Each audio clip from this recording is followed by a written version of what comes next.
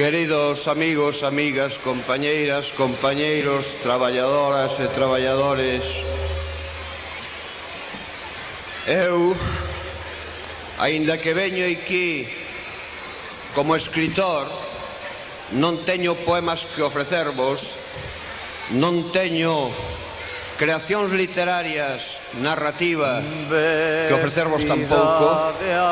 Eu O único que podría ofrecervos sería o resultado dun traballo de escolca sobre as causas polas que hoxe acontece o que acontece eh, e das razóns polas que nun futuro que será noso iso non volverá a acontecer xamais.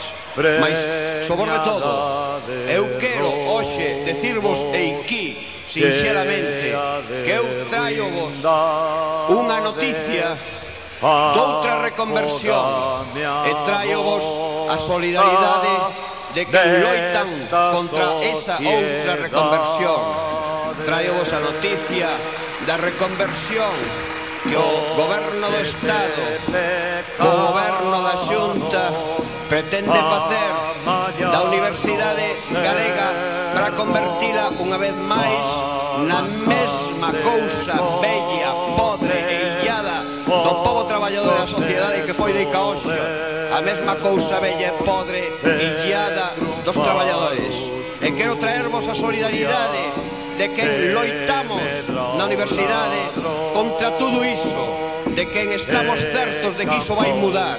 A solidaridade do movimento estudantil de Santiago, do movimento estudantil universitario espallado por toda Galicia en todos os centros da Universidade Galega que queremos que o sexa, doqueles que son traballadores dos servicios da universidade e máis daqueles que son traballadores docentes, profesores da universidade que estamos todos xuntos a loitar por a alternativa da universidade galega que o sexa tal, que non sexa unha universidade clasista, que non sexa unha universidade elitista, que non sexa universidade que pagan os probes para que os ricos estuden, que sexa unha universidade ao servicio das clases traballadoras de Galicia.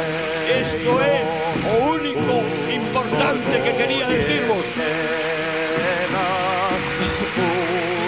Porque é ben sabido que neste país a solidaridade das clases populares, a solidaridade dos obreiros, dos campesiños, dos mariñeiros e a solidaridade daqueles mozos a formarse en Brasere, que axuden o movimento de todo o proletariado, de todos os traballadores do país, é a única tenaza que será capaz de estrangular para sempre, desganar e deixar morto a esa fantasma que está hoxe a gobernar en nome dunha palabra que maltrata, en que difama, e que bota polo chan e tripa todos os días.